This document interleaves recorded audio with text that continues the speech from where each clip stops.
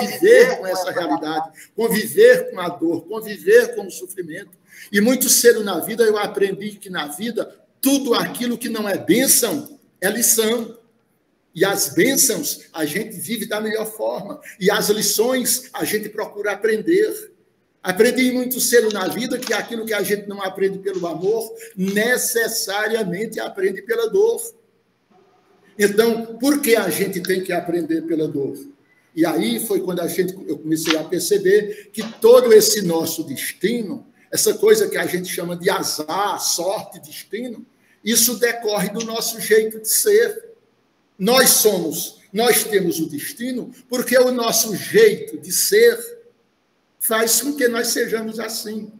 Talvez alguém diga como o nosso jeito de ser, especialmente o nosso temperamento e o nosso caráter. Nós somos. Eu, eu tinha um grande amigo, sempre que eu conversava com ele, ele dizia: Antônio, lembra-te que, uh, destino, que destino é caráter. Ele dizia. É, até certo ponto, sim.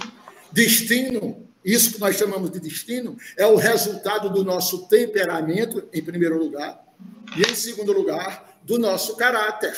Né? Então, é muito importante que a gente compreenda que o nosso destino, portanto, é o resultado das nossas heranças do ambiente, principalmente as heranças que nós recebemos do ambiente. O nosso destino, o, nosso jeito de ser é o resultado do nosso temperamento.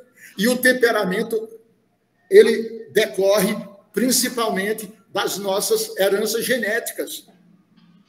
E aí se torna um pouco complexo, porque todos vocês sabem, nós, nós temos dois avós, dois pais, quatro avós, oito bisavós, 16 trisavós, 32 tetravós, 64 pentavós, 128 hexavós, né? 256 septavós, 512 octavós, 1024 nonavós, 2048 decavós. Quer dizer, nós somos, até a décima geração, o resultado genético de 2048 famílias. 2.048 pessoas, normalmente de famílias diversificadas. Imagine cada um, desses, cada um desses elementos transmitindo para nós um pouco da sua bagagem genética a confusão, de certa forma, que isso dá, a complexidade disso. Né? Mas aí tem os fatores culturais. Né? O grande filósofo Immanuel Kant já dizia que o homem é um produto do meio. Sim, somos um produto do meio, até certo ponto, sim. E resultado de uma história genética, de uma história biológica, mas também o resultado de uma, de uma história cultural. Mas aí eu descobri, mesmo apesar de tudo isso, eu descobri, não, não sou descobrindo, não sou inventor de roda. Eu cheguei à conclusão, que era verdadeiro fato, de que, além disso, tem os fatores espirituais, a história, a história espiritual. Porque hoje eu sou Antônio Mariano, mas algum tempo atrás eu não era Antônio Mariano. A, a individualidade é a mesma, mas a personalidade não é a mesma a personalidade ela sofre modificações, ela se insere num novo contexto. E eu, quando eu lembro que há oito dias atrás, quando nossa querida irmã Mirtz estava fazendo aquela grandiosa exposição, ah, se eu falasse como a Mirtz, com essa capacidade que ela tem. A Mirtz estava expondo ah, justamente sobre os arquétipos, e eu estava ela expondo, e eu aqui raciocinando, acompanhando a brilhante exposição dela, quando ela dizia a questão dos arquétipos, ela citava os arcanos do tarô, os signos do zodíaco, aqueles modelos que foram é, apresentados do homem-herói, disso, daquilo, pelos estudiosos, e a gente vai vendo que, na verdade, quando nós estamos de volta à Terra, nós somos inseridos justamente no contexto vibratório daquele determinado arquétipo que faz com que nós, porque nós vivemos regidos pela lei da atração, pela lei de causa e efeito, né? e, e nós terminamos nos inserindo exatamente no arquétipo que vai presidir, de, nossa, de certa forma, a nossa vida. E aí nós somos seres livres apenas numa pequena percentagem, meus irmãos, porque o que é que nós temos o quê? Nós temos uh, uma pessoa altamente preparada entre 25% a 30% de liberdade, dessa coisa que a gente chama de livre-arbítrio, porque 60%, 70% não está mais no nosso controle. E a gente tem, nesse atual nível que nós estamos, a capacidade de gerir tudo isso para poder transformarmos essa realidade, transformando a nós mesmos. Aí foi quando eu vi que realmente o destino, nosso destino, é, está realmente dependendo do nosso jeito de ser, que o nosso caráter vem em parte do nosso temperamento, é forjado, digamos assim, tendo como base o nosso temperamento, mas que esse temperamento ele já vem preparado pelas condições genéticas nas quais nós somos inseridos, nas constituições genéticas, nas condições do ambiente, nas condições culturais e ainda na história espiritual que nós levamos conosco, cujo registro estão nos registros acásticos do universo, estão no nosso corpo perispiritual, cada um tem a sua explicação, mas é muito interessante como nós conseguimos trazer isso para a nossa vida, a nossa existência atual. E aí é quando a gente então descobre que verdadeiramente nós é, estamos em um mundo, um mundo que é feito por leis. Isso aí é muito sério. Eu, um pequeno detalhe: com a idade de 14 anos, minha vida toda presa a esses fatos. Com a idade de 14 anos, eu ouvi falar na Rosa Cruz, dos irmãos Rosa Cruzes. Eu tinha só 14 anos e minha mãezinha ainda na sua humildade e simplicidade, tinha uma certa dificuldade de entender até onde essas coisas, essas coisas, como elas também chamavam, essas coisas poderiam ser consideradas coisas normais. E eu disse à minha mamãe que eu queria entrar na Ordem Rosa Cruz. Ela relutou um pouco, eu mostrei que era algo maravilhoso, foi ela que assinou para que eu entrasse, o seu consentimento, para que eu entrasse na Ordem Rosa Cruz. Fiquei um pouco de tempo na Ordem Rosa Cruz e logo caí fora. Não sei porque, acho que eu não estava preparado. Os irmãos Rosa Cruzes, não sei se algum dos irmãos que, das pessoas que estão aqui são Rosa Cruzes, mas os irmãos Rosa Cruzes é, certamente sabem que eu, eu certamente não estaria no nível de ingressar na Rosa Cruz. Mas eu aprendi na Rosa Cruz uma coisa bem interessante que mexeu comigo, que foi a questão das leis do universo. Nós vivemos em um mundo de leis e a gente só pode, a gente não pode fugir desta lei. As leis do universo, elas são matemáticas, elas são naturais. E não existe jeito de quebrar a lei. Se nós a contrariamos, nós sofremos. E nós só podemos modificar uma lei do universo através de outra lei. Interessante esse dado, meus irmãos. Pode ser uma loucura, mas vocês analisem, depois vocês me falam, não é? Porque eu entendo hoje que você só pode mudar uma lei através de outra lei. Como assim? Vejamos uma coisa muito simples, a lei da gravidade, né? A lei da gravidade, tudo que a gente solta automaticamente cai, né? É atraído para o eixo da Terra. Quer dizer, a lei da gravidade não interessa se nós somos ricos, pobres, pretos, brancos, nordestinos, sulistas, não interessa. Todos estão sob o domínio da lei da gravidade, não é verdade?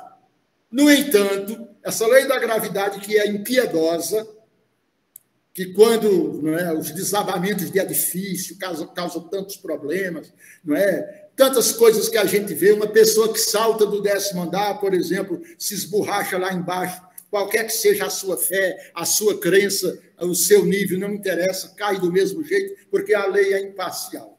Mas, curiosamente, quando o homem descobriu a possibilidade de fazer um aparelho dentro de uma nova lei, a lei da aerodinâmica, ele conseguiu fazer aparelhos mais pesados que o ar e que hoje voam vencendo a lei da gravidade.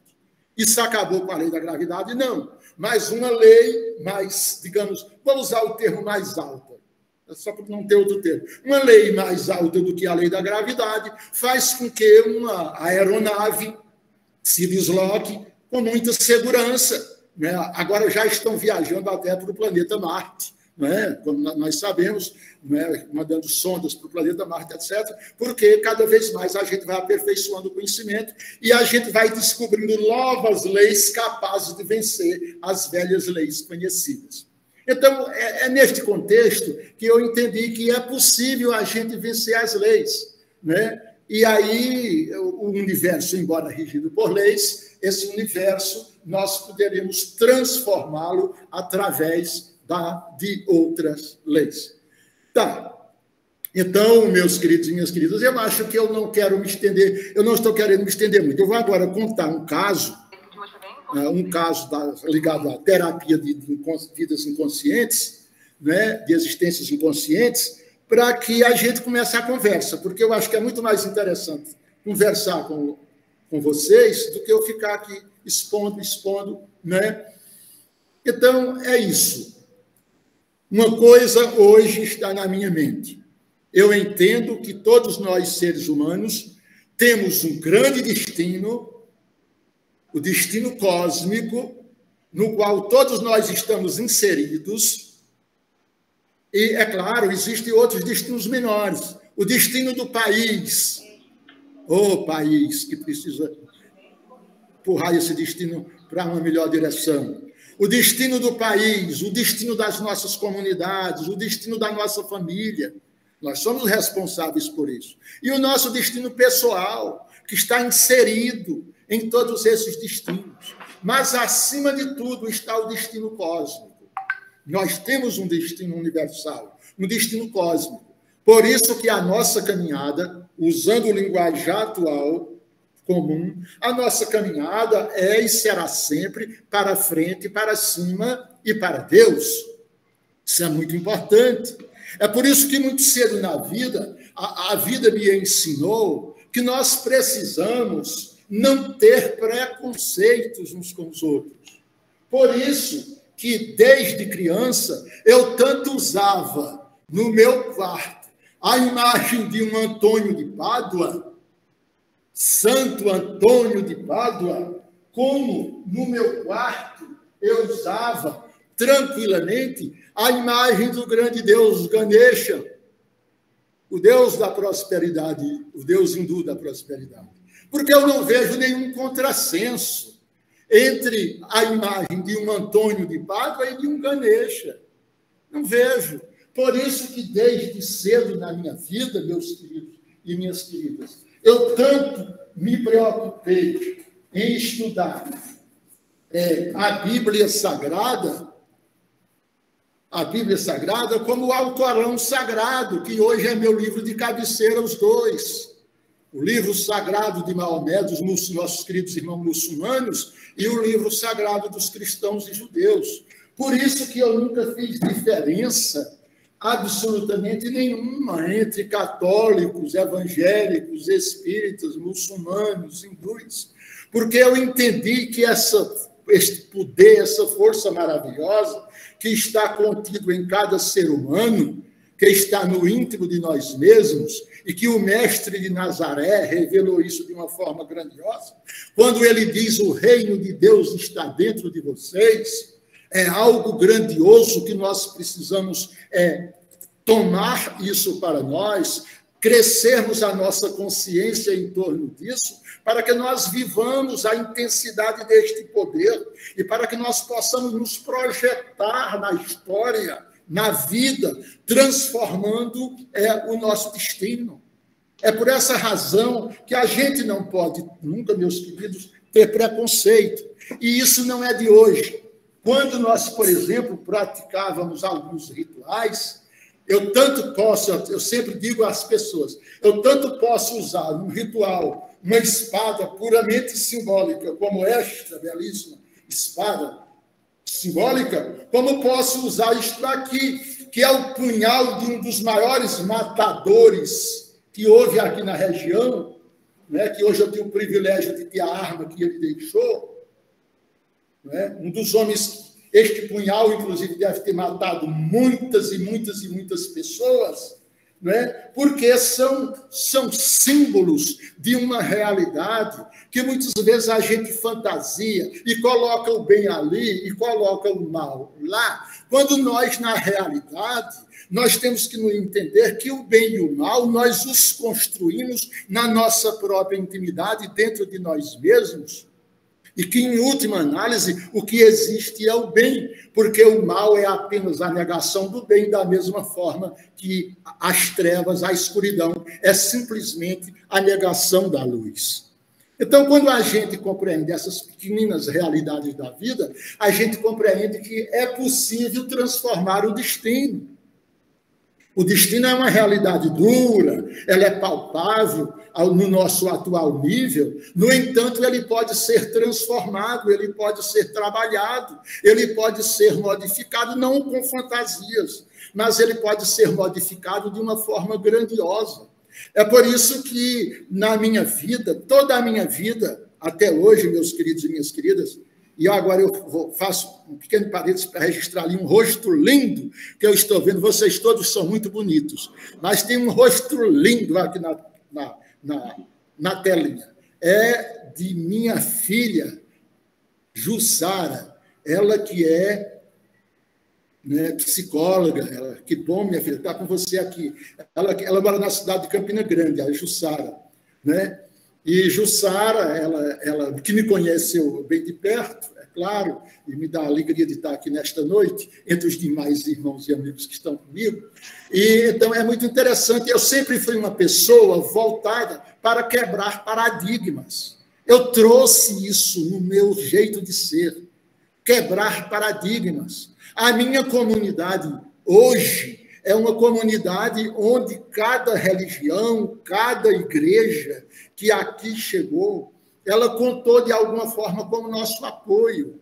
Quando os, os, nossos irmãos evangélicos eram perseguidos e presos aqui, e foram surrados até, eu fui a primeira voz na comunidade a levantar-se em favor deles, em, vamos usar o termo, que eu não gosto muito desse termo, mas um termo bem nosso, apadrinhar uma pessoa, um evangélico, uma família evangélica, uma família que era até de um senhor chamado José Mineiro Sobrinho, que foi o primeiro, é, primeiro evangélico dessa cidade, dá pleno apoio a ele diante do, das humilhações que eles sofriam.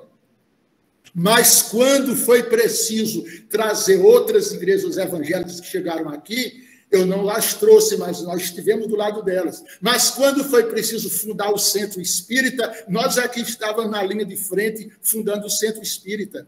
Quando foi preciso trazer a maçonaria para cá, nós que fundamos a ordem maçônica aqui. Por quê? Porque nossa tarefa sempre foi quebrar preconceitos, quebrar paradigmas.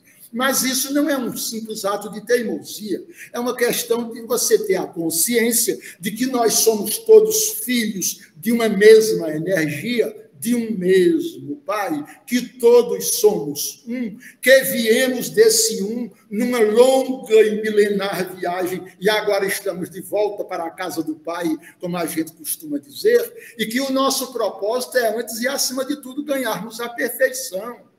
Então, o destino cósmico do homem é a perfeição, perfeição que lhe permitirá a plena e total felicidade. Isso não vai acontecer agora, não adianta querer agora. Agora, a gente pode ter momentos de felicidade, momentos relativos de felicidade. Então, vamos aproveitar esses momentos, vamos crescer. O mestre Jesus de Nazaré, que eu considero um mestre por excelência, ele dizia Sede perfeitos como perfeito é o vosso Pai que está nos céus. Ora, meus queridos e minhas queridas, quando a gente se olha, a gente vê que nós estamos longe da perfeição e como estamos.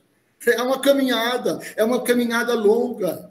E é por isso que uma existência apenas não responderá ao nosso anseio, não tem como responder ao nosso anseio. E é por isso que nós, o destino de hoje, ele depende de outros destinos já vividos, de outras existências, vividas ou não, mas que estão dentro de nós. Por isso que às vezes as pessoas dizem terapias de vidas passadas. eu digo, olha, cuidado um pouquinho, eu não, eu não concordo totalmente, porque algumas nuances, alguns detalhes não são de vidas passadas, são outras existências que estão dentro de mim, mas não foram vividas diretamente por mim. Daí porque eu tento fazer essa diferença. Talvez até alguém me perguntasse isso, né? Por que, é que você usa mais terapia de vidas inconscientes, de existências inconscientes, não de vidas passadas? Porque eu entendo que, que apesar dessas existências anteriores, não é? É, nós temos outros fatores que trabalham também dentro de nós. E por falar em existências anteriores, deixa eu lhes contar um pequeno caso. Eu estava aqui, aqui onde eu estou, na minha casa, e chega, chegou aqui um moço que eu não conhecia. Ele, a porta da minha casa estava aberta, eu estava lendo, ele chegou na porta, parou e perguntou em alta voz: Posso entrar? Disse, pois não, entre, fica à vontade. E quando ele entrou e sentou, ele bateu com as duas mãos assim no peito, um pouco abaixo do peito, e disse: O Senhor fique tranquilo que eu não trouxe minhas armas, não não trouxe as armas. Eu pensei, porque ele chega me dando esse recado, fique tranquilo, belo recado, chegar na casa alheia de um nordestino ignorante, né? E dizer, fique tranquilo que eu não trouxe as armas. Então eu só olhei para ele, sorri e perguntei, e precisava trazer? E aí ele se desconcertou. Ah, o senhor me perdoe, é que eu estou preocupado. Tal. E foi por aí que nossa conversa começou. Aquele rapaz, um policial, um policial, ele entrou na polícia, é, era uma pessoa de família financeiramente bem, mas aquele moço, ele estava inquieto. Mais de cinco anos que estava sustentado por medicamentos psiquiátricos e Amava a mãe de forma fantástica, mas não conseguia conviver com ela. Amava o pai, mas não conseguia conviver com o pai. Nenhuma mulher o suportava. Ele tinha em torno de 40, 40 e poucos anos e me confessou que o maior problema da, da vida dele é porque, desde criança, o sonho dele era assassinar pessoas. Ele queria matar pessoas. E depois que ele fez todo aquele drama, eu Perguntei a ele: por que você não mata? Tanta gente está matando à toa, e você com essa angústia todinha para matar alguém? Ele disse: não, porque eu só quero matar de forma legal. Ah, por isso que eu entrei na polícia. Porque eu quero matar, mas quero matar de forma legal.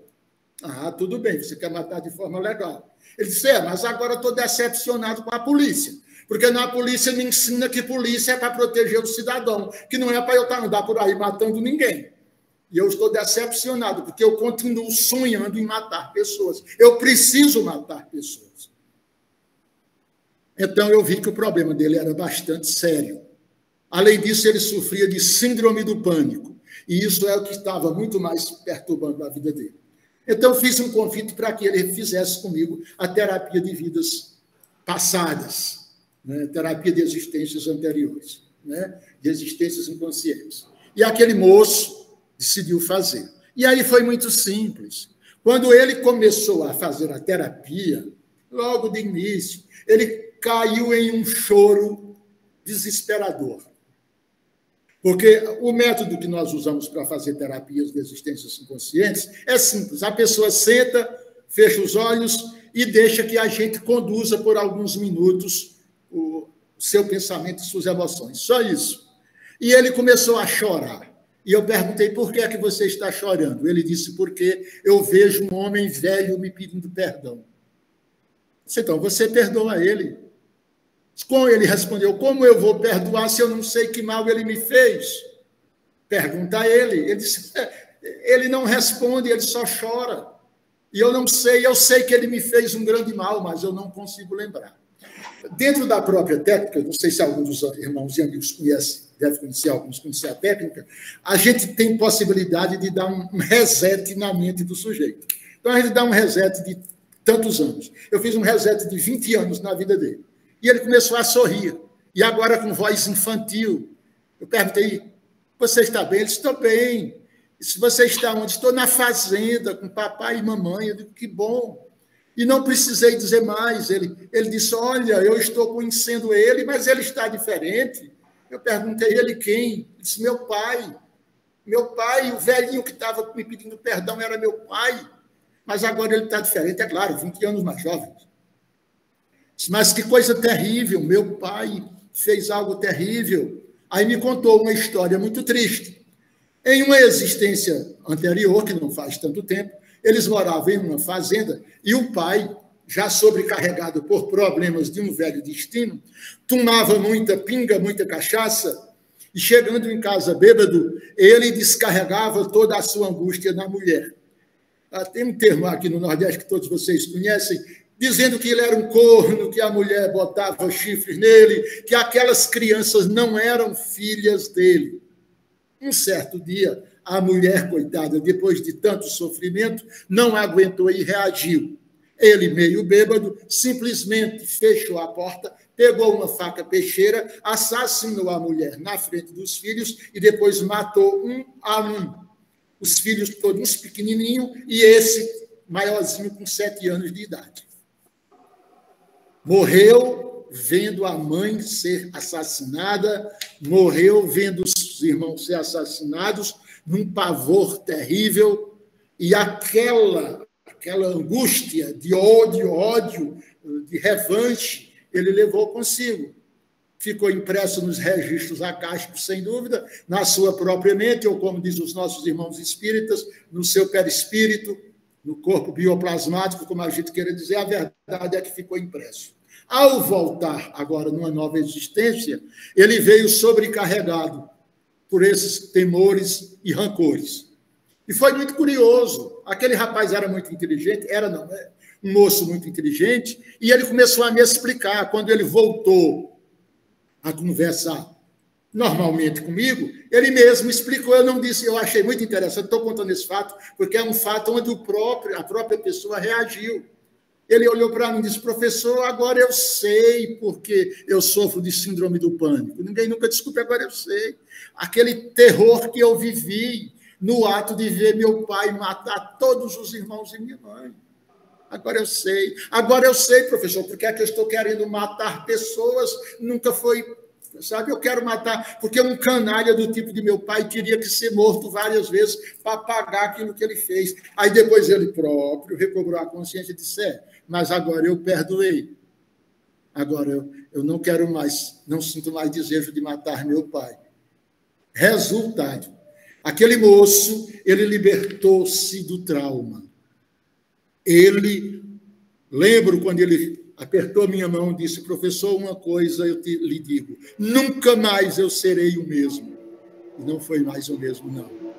Recobrou o seu equilíbrio psíquico, libertou-se do medo e libertou-se da terrível tendência de ser um assassino. Quer dizer, deixou de vibrar numa vibração altamente negativa, passou a vibrar num nível realmente mais positivo e agora eu vejo a caminhar progredindo de uma forma muito mais correta e sensata. Tá. Então, é um fato curioso. Como eu vi outro fato curioso de uma jovem ex-suicida, remanescente suicida, que é, suicidou-se justamente porque é, teve o pai abusou dela sexualmente e ela ao, agora, ao, ao renascer, vamos usar esse termo, ela carregou consigo aquela memória de ódio contra o pai. E o mais grave daquela menina é que quando ela suicidou-se na existência anterior, ela ia completar 17 anos. E agora ela ia vai ela na vida atual, na existência atual, ela iria completar 17 anos e aí manifestaram todas as tendências suicidas, que se acentuavam por uma voz que toda hora estava dizendo no ouvido dela: te mata, te mata, te mata. Eu te amo e estou aqui te esperando. Vem para cá. Então, essas coisas curiosas que acontecem. Foi um caso que deu muito trabalho, mas que depois de nós podermos conversar com aquela jovem ela conseguiu libertar-se daquela tendência infeliz de suicídio. Uma coisa que não é tão simples e tão fácil. Eu não vou me estender nos casos, porque são tantos. Então, meus queridos, eu acho que está na hora de parar um pouco para que os queridos irmãos e irmãs, amigos e amigas, possam levantar seus questionamentos, expor suas ideias, porque é, eu acredito que há muita coisa que poderia ser até explicado ou explicada por outras formas, e eu não estou aqui para induzir Nunca foi meu feitio induzir pessoas a pensar da forma que penso, mas apenas de trazer minha modesta contribuição, construindo esse conhecimento em resposta ao questionamento: por que o nosso destino? Por que, por que nascer justamente nesta família? Por que ter essa cara, esses olhos, esse cabelo, esse jeito, essa forma de ser? Por que esses sonhos? Por que essas inquietações? Porque essas emoções que de repente a gente não sabe elas de onde vêm e muitas vezes nos perturbam tanto. Porque às vezes a gente tem um conceito de moralidade tão elevado, mas conceitos que parecem morais ficam toda hora nos atormentando. Por quê? Porque não podemos viver absolutamente em paz conosco mesmo? Porque se vivêssemos em paz conosco mesmo, naturalmente viveríamos em paz com toda a humanidade mas a gente não consegue, muitas vezes, viver em paz com nós mesmos. Por que nascer em um berço de ouro? A mãe preparar com tanto carinho e outras, quando o filho nasce, simplesmente joga o filho no cerco de lixo. E outros que nem têm o direito de nascer. E outros que, quando nascem, já vêm com uma deformação cerebral, com uma deformação genética qualquer, que não lhe permite usufruir do que a vida oferece, e às vezes anos, anos, anos e anos numa cadeira de roda, muitas vezes nem sabe para que estão na Terra. Por que isso acontece? Então, nós julgamos que as respostas estão ao nosso dispor, precisando apenas a gente refletir e descobrir realmente o que precisa ser feito. Eu acredito na transformação do ser humano. Eu acredito na transformação do mundo. Eu vejo a possibilidade da realização do nosso grande destino cósmico. Usando a linguagem das religiões, eu afirmo com plena convicção que a nossa caminhada sempre é para frente, para cima e para Deus. E disso eu não tenho nenhuma dúvida, mas eu posso estar enganado. Eu posso não estar raciocinando bem. E aí, meus queridos irmãos e queridas irmãs, já que isso é um grupo especial, é um grupo que as pessoas confiam em si mutuamente, se abrem umas com as outras, eu estou trazendo essas minhas convicções e esses meus modestos conhecimentos tirados de uma experiência de vida durante 72 anos de vida terrena, para que assim é, vocês possam me ajudar a continuar nessa reflexão e junto nós possamos construir conhecimentos melhores que virão naturalmente contribuir para o nosso bem, para o bem das nossas famílias, das nossas comunidades. É claro que há centenas e centenas de outras informações que aqui não são dadas, mas se nós formos falar sobre isso, vamos ter que falar durante horas e horas e horas e horas, e os irmãos todos têm um horário marcado né, nesse breve encontro. Então, meus queridos, eu me dou assim, por enquanto, satisfeitos e devolvo não é, aos irmãos, ao Givaldo, que está no controle, essa forma de conduzir daqui para frente. Estou à disposição, mas eu gostaria muito de ouvir, não é, com base naquilo que a gente falou, aquilo que os irmãos gostariam de colocar. Estou à disposição. Então é isso. Ok, maravilha, maravilha. Que palestra riquíssima, meu caro amigo Antônio Mariano Sobrinho. Muito obrigado. Então, nós estamos hoje na 58ª edição do Bate-Papo na Sala de Ideias, hoje falando a respeito do destino do ser humano e a influência das existências inconscientes. Né? Após a belíssima explanação do nosso querido Antônio Mariano Sobrinho, vamos agora abrir para os questionamentos, para as reflexões. A Mirtz já está levantando a mão ali. Ok, Mirtz? Estava anotando, fica à vontade aí, seus questionamentos e reflexões.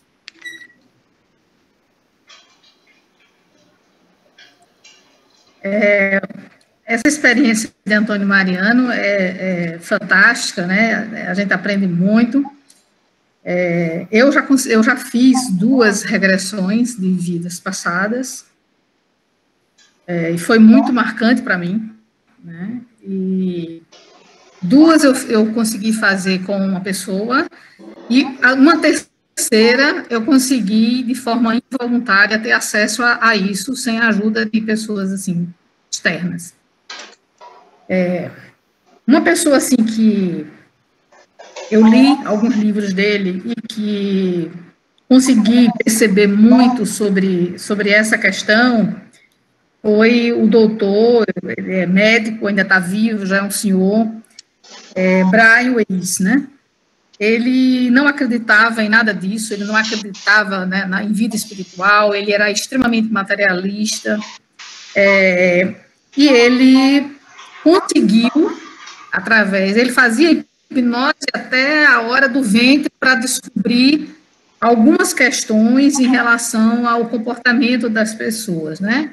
Então, só que numa dada sessão, alguém voltou a muito antes do, do, do ventre. E aí é, conseguiu acessar uma história. Só que o seguinte, muita gente mistifica demais essa questão, achando que alguém vai fazer terapias de vidas passadas para descobrir algum personagem famoso que já foi. Isso é só coisa de, de, de, de ficção. Na verdade, todas as pessoas que se submetem a um trabalho, não só de hipnose por indução, ou hipnose por som de tambor, percussão, é, ela vai fazer isso para curar alguma coisa que ela que a incomoda, como esse rapaz, né, que tinha vontade de matar. No meu caso, é, foi a primeira vez que eu fui fazer essa, essa regressão de memória, foi uma sugestão de uma pessoa que, inclusive, era Rosa Cruz, é, Ivete Nogueira, que era taróloga, é, falava fluentemente hebraico, uma pessoa fantástica, sabe? Uma xamã maravilhosa. E ela me ajudou muito a me desenvolver é, na, na, parte de, dos potenciais internos, né? Como é que eu posso chamar? E eu sinto muita falta dela, muita falta dela mesmo. No meu caso, eu acessei uma memória, é, vou contar brevemente a razão da, dessa, desse acesso a essa memória. É, eu nasci numa família com sete irmãos homens, né, e uma irmã minha que nasceu depois de mim, quatro anos e meio. Quando eu nasci, os meus irmãos, a maioria deles são um pouco morenos. Quando eu nasci, eu nasci muito branca, né, com os olhinhos claros, muito branca. E na hora do meu nascimento, é, a minha mãe, ela não me aceitou, né? E isso marca qualquer criança. É, quando minha mãe viajava com meu pai alguma coisa, eu ia dormir no, na cama deles para sentir o cheiro da minha mãe, para vocês terem ideia de, de, de como eu era apegada a ela. E ela sempre disse a mim que eu não era filha dela. Tanto que com nove anos, dez anos, eu procurava algum documento que dissesse que eu tinha sido adotada alguma coisa. Primeiro, porque era diferente dos demais. E, e, e segundo, porque ela me rejeitava muito, né? E nessa regressão de memória que eu fiz, eu exatamente fui para a época em que ela me assassina envenenada. Eu tinha, é, na, nessa visão, eu tinha mais ou menos uns 17 anos, 16, 17 anos, e eu fui assassinada por esta mulher que hoje é minha mãe. E eu não aceitei aquele fato, tanto é que eu fiquei tossindo, uma tosse seca, e essa tosse seca é exatamente em função de não aceitação, eu fiquei tossindo mais ou menos uns quatro meses, e Ivete me dizia: Você está tossindo desse jeito porque você não aceita o fato de que ela lhe matou em outra vida. Mas era uma, uma sensação muito, muito presente, né? Eu senti to todos os sintomas de quem estava se asfixiando por veneno. E foi nessa hora que ela me trouxe de volta. E eu fiquei consciente o tempo inteiro, né? E como ela é, fazia leitura da, da, da, energia da pessoa, ela conseguia ver o cenário onde eu estava também, né? Então foi uma coisa assim muito forte essa essa sensação, né? E quando eu tomei conhecimento disso, né, toda a tristeza que eu tinha em relação à minha mãe por ela não me aceitar, né, que inclusive eu fui expulsa de casa porque eu não segui mais a religião dela, né, com, com menos de 22 anos, né, menos de 22 anos eu fiquei sozinha no mundo, e não conhecia nada, e por conta dessas coisas da minha mãe, né? Hoje eu tenho uma relação razoavelmente boa com minha mãe, e isso só foi ser resgatado depois dessa regressão de memória. Quer dizer, eu curei essa memória passada, que é uma coisa presente hoje, entre, a, entre mim e a minha mãe. E hoje a minha mãe, ela, ela tem muito orgulho da pessoa que eu me tornei, embora ainda exista alguma coisa que, que breca, ela, ela não se sente tão à vontade comigo. Né? Mas eu, eu já fiz exercícios demais de perdão em relação à minha mãe. E agradeço ao fato de, de um dia ela ter tirado a minha vida e depois ter me trazido a vida. Né? Então, veja que é, um, que é uma situação assim, é, pungente. Né? Mas o, o ponto principal é que eu curei uma memória passada e que curei coisas da minha vida atual. Por quê? No momento em que ela me rejeitou desde criancinha, ela trouxe um impacto muito grande para a minha vida. Isso feriu a minha vida afetiva, né? feriu a, a, o meu amor materno, feriu essa questão. Então, eu precisava curar isso dentro de mim, né? A pessoa não ser aceita pela própria mãe é muito difícil, né? Principalmente, por exemplo, numa família de, de nove filhos, só ter duas mulheres e sete homens, e uma era preferida e a outra era excomungada a vida inteira, né? Então, tudo que eu fazia para ela, eu podia fazer melhor do que todo mundo, mas nunca era bom, sempre estava errado, sempre era uma, sempre eu era, eu falava muito, eu falava o que eu pensava, né? E eu queria mudar as coisas, né? falando, explicando, e, e, ela nunca aceitou nada meu, né? Então, hoje é que ela entende que pegou pesado comigo em muita coisa, depois de muita oração de perdão, depois dessa regressão de memória. É uma coisa muito forte, né? E, e geralmente é assim: ninguém vai para saber se foi uma figura imponente no passado. A pessoa vai para curar alguma coisa que atrapalha a vida atual da pessoa, né? Isso é ponto pacífico. Então, dois pontos. Um é, é o trabalho de, do doutor Brian Weiss, né? Sobre essa questão, né? Que ele era uma pessoa totalmente cética, e ele passou a acreditar nisso e passou a trabalhar com isso. Hoje ele tem mais de 20 livros escritos sobre esse assunto e sobre todos os pacientes que ele, que ele trata, né? Com muitas experiências maravilhosas. E, e segundo ponto esse. O terceiro ponto, a história de mudar o destino, né? E depois eu vou fazer uma pergunta para o Antônio Mariano. É, mudar o destino. Eu fui uma vez uma, uma, uma, freira que ela fazia florais do Nordeste. Antônio Mariano trabalha com florais de bar, essa freira trabalha com florais do Nordeste. Aí eu fui para ela, fui me consultar e ela pegava um cabelo, né, um fio de cabelo da gente para ver o endereço energético, uma fotografia da gente, tudinho. Então ela se concentrava e ela via quais eram os florais do Nordeste que ela prescrevia. E depois a gente ia lá para poder ela conversar sobre a análise que ela tinha feito e passar os florais, quais eram os florais. O, o primeiro floral que ela passou para mim chamava Síndrome de Deus. Quando ela me falou o nome Síndrome de Deus, eu caí na risada, né? Aí eu falei, vamos, peraí, irmão. Síndrome de Deus, por que, que eu tenho que tomar esse negócio? Síndrome de Deus. Aí ela fez, olha, veja aqui o que é que, qual é a descrição, qual é a descrição Sim, Donato, eu estou falando dele, Brian Willis. E, e por que isso, né? Então, quando eu li lá, era assim: a pessoa que acredita que pode modificar todo o seu destino. ali eu, eu, me acabei de rir, né? Eu disse, mas isso não, é, isso não é ruim, não, isso é uma coisa boa, não é ruim, não. Quer dizer, a minha vida inteira foi mudar paradigmas, entendeu? Foi mudar situações. Então, sempre que eu estava diante de alguma coisa que eu achava que era injusta, que, que maltratava as pessoas. Então, desde menina foi assim, sabe? E eu achava que eu podia mudar tudo, sabe? Então, era síndrome de Deus. Aí eu dizia para ela que não era defeito, isso era qualidade. Então, ela me passou floral, eu tomei de todo jeito, mas eu sempre achei que a gente pode mudar o destino. Mudou de frequência da cabeça, né, do pensamento, a gente tem condição de mudar as situações. Em relação a, por exemplo, uma lei que é só é modificada através de outra lei, né, quando elas se interagem, há uma mais potente, é, a gente pode fazer essa mudança de uma lei para outra ou mudar a vibração. No momento que você muda a vibração, você entra no outro patamar, noutra sutileza das leis. Né? Um exemplo é um livro de Trigueirinho chamado Além do Karma.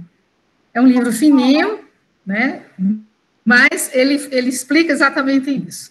Existem leis específicas para nossa tridimensionalidade. No momento que a gente passa para níveis maiores de compreensão, então eu posso acessar outras sutilezas das leis, das quais eu sou submetida aqui nesse plano, e eu posso modificar as circunstâncias através de, da elevação da minha vibração. No momento que eu me elevo, então eu começo a acessar outras sutilezas daquelas mesmas leis. Por exemplo, a lei de causa e efeito, que é conhecido como karma, ela vai tomando uma gradação e vai se sutilizando nos níveis superiores, nos níveis maiores.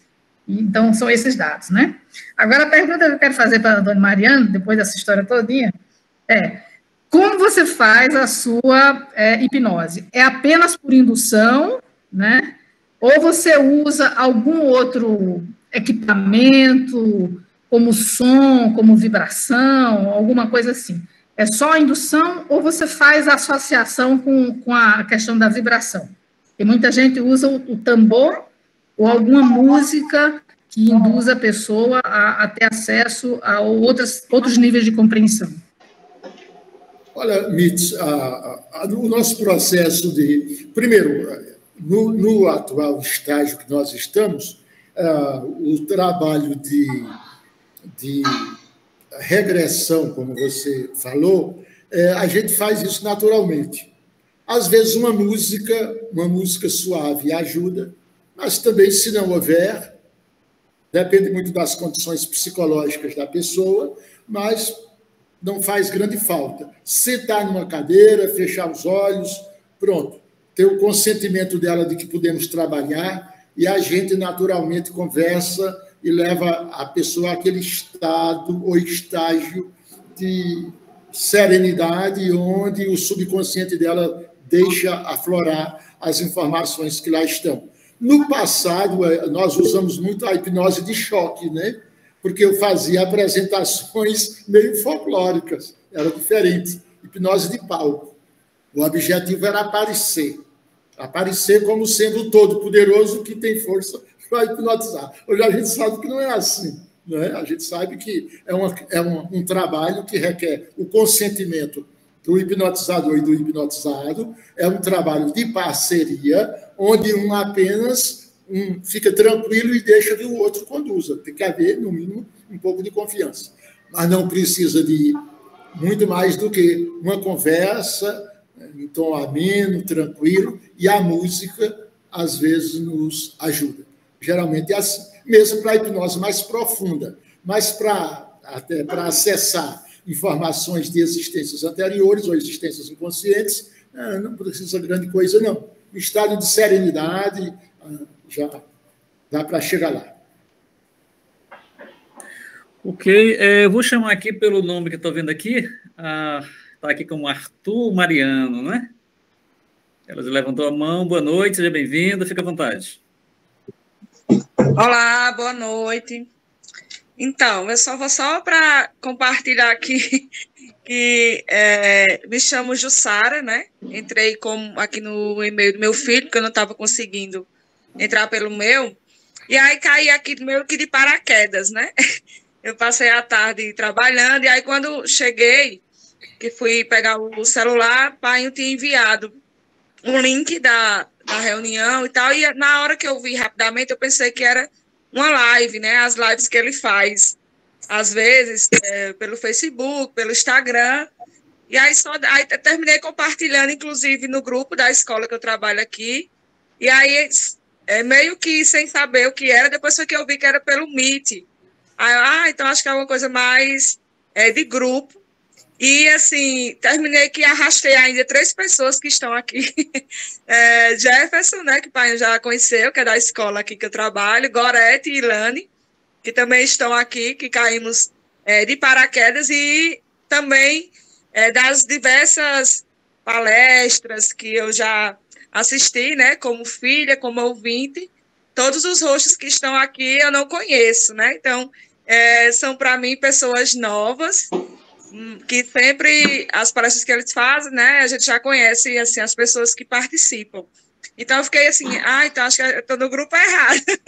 acho que já tem alguma coisa aí fechada, mas é sempre um prazer, né, conhecer pessoas novas, é, ouvir Painho, assim, desde de criança, né, que assim o que mais nos vai nos marcando, né, desde a infância, é esse olhar, como ele falou, de, de, de fornecer conhecimento para que as pessoas possam se decidir, né? Desde sempre ele tem essa característica de uma cidade, né, do Nordeste muito pequena, de trazer discussões, é, digamos assim, bem atrevidas, né? Porque é, na nossa região estamos aí a questão do catolicismo, né? Da questão da, é, da religiosidade muito tradicional e que várias vezes na minha infância eu escutava, né? Quando as pessoas é, traziam o nome dele, às vezes como um bruxo da cidade, né? Como alguém que as pessoas tinham um certo receio. É, passava assim em frente achava que ele ia adivinhar tudo, né? Minhas colegas faziam, chegava e dizia, vamos lá, teu pai, que quero que lê minha mão, e a gente fazia aquela fila, né, com as meninas para passar lá para ler a mão. Quando tinha as festas, as festividades, é, encontros que eles, eles sempre gostam de promover, encontros holísticos, onde trazia diversos representantes de diversas religiões, né, para que as pessoas pudessem ter acesso a esse conhecimento. E ao mesmo tempo era engraçado como ele como ele traz, né? Como ele traz o Santo Antônio, que é traz no nome dele, e ele faz uma festa belíssima há tantos anos, né? Através de um santo e ao mesmo tempo foi quem doou o primeiro terreno para a Assembleia de Deus, que na parte evangélica, uma das igrejas mais tradicionais, né, é, assim, muito fechada em, em relação a alguns aspectos, e também trouxe né, o espiritismo para a cidade. As pessoas ainda têm muito preconceito, ainda é um grupo relativamente pequeno, né? E as pessoas confundem com essa questão que ele trouxe é, de bruxaria e ainda mais a maçonaria. Aí foi que trouxe muitos rumores, né? Que a maçonaria tinha que doar sangue para poder fazer parte daqueles mistérios da maçonaria. Então, sempre é, foi nesse convívio desses mistérios, né, de uma cidade muito pequena e que realmente é, as pessoas, devido à própria criação, né, não têm acesso a esse conhecimento, mas que através dele, mesmo às vezes o público não sendo tantas pessoas que participavam dos belíssimos encontros que ele promovia e que ainda promove, né, assim, holísticos. É, eu lembro muito bem, eu criança, que ele trouxe um, um, pai, né, um pai do candomblé, o pai Mendes, que foi era bem famoso lá em São Paulo e trouxe, né, e trazia representantes de diversas religiões nesse intuito de fornecer acesso para que as pessoas tivessem acesso e se decidissem, né, tivessem opções, na verdade aquilo e aceitassem, né? Essa, isso que ele trouxe bem, tirar esse preconceito de aceitar essa diversidade, de, de aprender com essa diversidade, né? Então acho que um dos mais maiores ensinamentos é isso, assim, é a gente dar liberdade para o outro, dar acesso de conhecimento para o outro, né? Porque nós vivemos um mundo ainda muito intolerante em relação a muitos aspectos, né? Sejam de questão religiosa, sexual, enfim, são ainda muita intolerância que geram ainda muitos conflitos, porque cada um quer ter a sua verdade e a gente não se abre né, para conhecer outros tipos de conhecimento. Então, é, só agradecer, né? Como eu falei, aqui meio que de paraquedas, mas é, podendo ouvir vocês, compartilhar. É, eu acho que também o meu, a minha vontade de fazer psicologia se deu muito nisso que eu observava dele, né? Ele também fez na época o vestibular para psicologia, passou, mas não cursou, né, porque teve que trabalhar no Banco do Brasil na época. Hum, e aí depois veio com a psicanálise, que ele gosta muito, e de tentar entender realmente, né, essa questão do ser humano, de entender melhor, de ter esse acolhimento com cada um dentro de suas histórias, né, de suas marcas, de seus traumas que a gente traz desde, né, como foi trazido aí, de outras vidas. Então é isso. Obrigada. Obrigado a você, obrigado seus amigos né, que estão aqui, sejam todos bem-vindos. Nós estamos na 58ª edição desse bate-papo. Cada sábado nós temos um tema diferente. Hoje estamos discutindo essa temática, né? Somos muito abertos e estamos aqui, somos, somos usando aqui uma palavra do Antônio Mariano, somos buscadores, né? De conhecimento. Trazendo aqui para o nosso bate-papo, nosso querido amigo, que também já foi palestrante, economista, Lorinaldo. Boa noite, Lorinaldo. Seja bem-vindo, meu caro. Boa noite, Givandro. Givaldo. Parabéns ao professor Antônio Mariano. E dizer o seguinte: eu sou engenheiro e, em princípio, quando se fala em engenharia, a gente pensa logo no pensamento cartesiano, né? pensamento matemático. Mas eu, eu gosto muito da filosofia. Então, eu gosto, eu já começo aqui concordando com o meu amigo, meu rei. Né?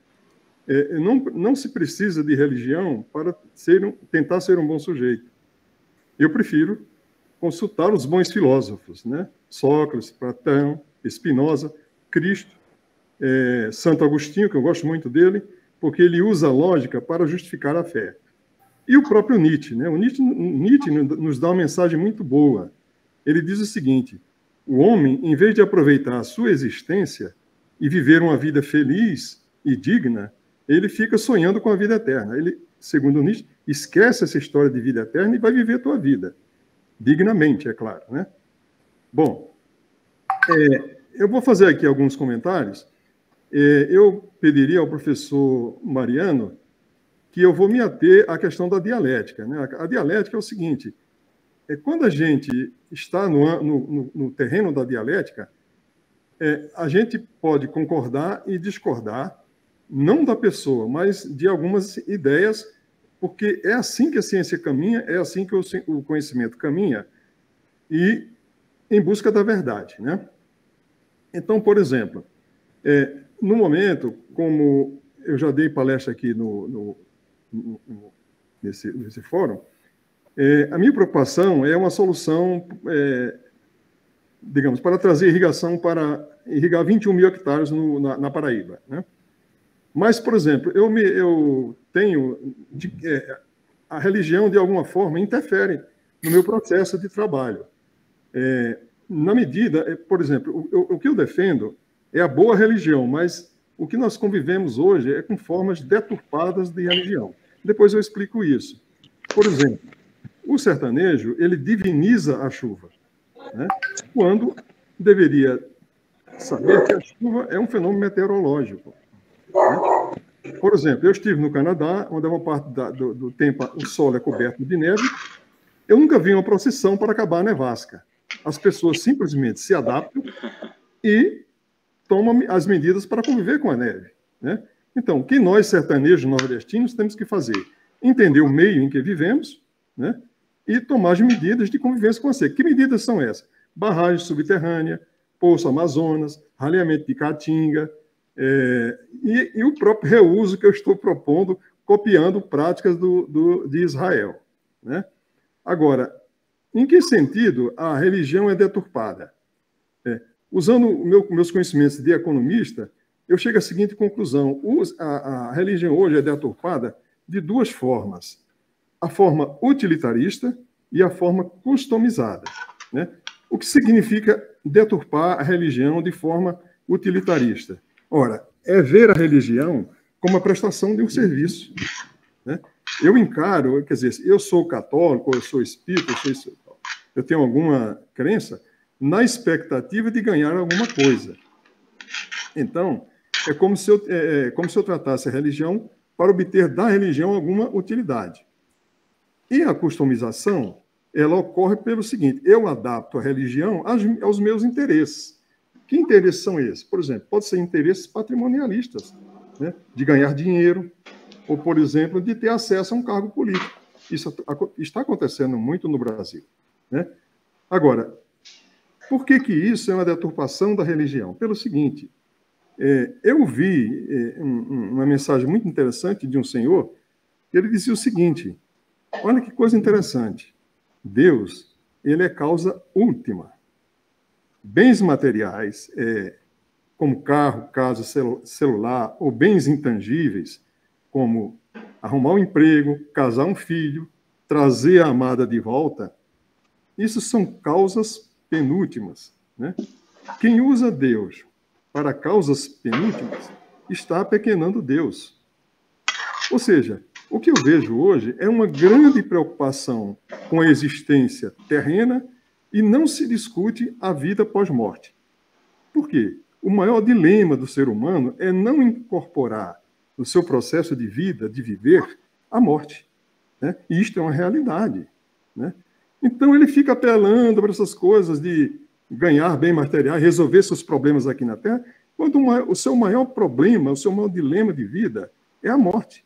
Ou seja, e então ele deturpa a religião para ter interesses materiais ou de outra forma e não se preocupa com a questão da vida eterna, né? Eu vou voltar agora, então, comentar mais aqui outros pontos. O destino, né? Foi falado o destino. Eu, eu peço ao professor que tenha um pouquinho de paciência comigo, porque eu estou querendo buscar a verdade, né? Então, é o seguinte, é, o, o destino, na realidade, olha, nós somos afetados por duas, dois fenômenos: o fenômeno endógeno e o fenômeno exógeno. O fenômeno, os fenômenos endógenos são aqueles sobre os quais eu tenho algum grau de controle. Por exemplo, eu, eu nasci no sertão do Rio Grande do Norte, mas eu me formei em Brasília. Né? Ou seja, eu tomei, eu me posicionei na vida de uma forma que o, o acaso me, me, me beneficiasse. Se eu tivesse me formado em engenharia talvez eu, eu, estaria dependendo de um político, né? como acontece muito. Não, não, sim, poderia estar bem empregado. Mas quando eu me formei em Brasília, eu tive quatro opções de emprego.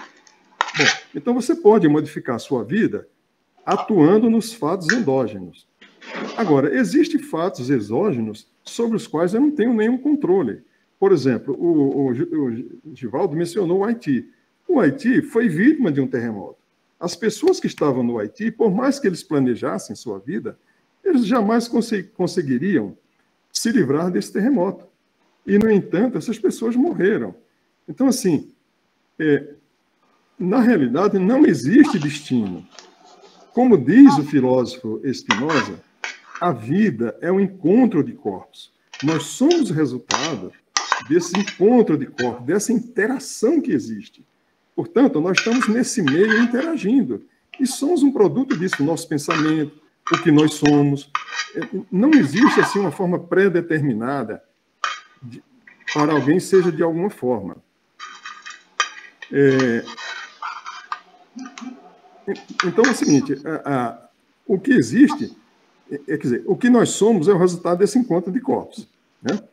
Sobre as terapias de existências passadas, eu, eu gostaria de, de dizer que isso contraria o, o filósofo Jean-Paul Sartre. O Jean-Paul Sartre diz o seguinte: no homem, no ser humano, a existência a existência precede a essência. O que, que significa isso? Significa o seguinte: se eu vou desenhar uma cadeira, projetar uma cadeira, a cadeira já existe na minha mente. Ela, a essência da cadeira já existe na minha mente. E depois ela vira, depois ela vira cadeira, ou seja, primeiro ela é essência e depois ela é existência. No ser humano é diferente. Nós nascemos, primeiro nós nascemos, nós existimos, para depois, devido a essa interação de corpos com a sociedade, com o meio em que nós vivemos, nós nós nos transformaremos no que somos, ou seja, em essência. Então, é, é, quer dizer, você tem que observar essas coisas, né? É, E, finalmente, eu, eu gostaria só de um detalhe aqui que eu notei também, que é a questão da Bíblia. Né? É, uma, uma, crítica muito séria que se faz à Bíblia é que os apóstolos que traduziram a, a Bíblia, o que, que era, os, o que, que era a, a Evangelho segundo Mateus, por exemplo? Ele escrevia uma forma dele pregar o catolicismo. Mas a, o, qual era o problema dos apóstolos? Os apóstolos não sabiam o hebraico, o hebreu. Né? Então, a tradução da Bíblia sofreu muito com esse problema de língua.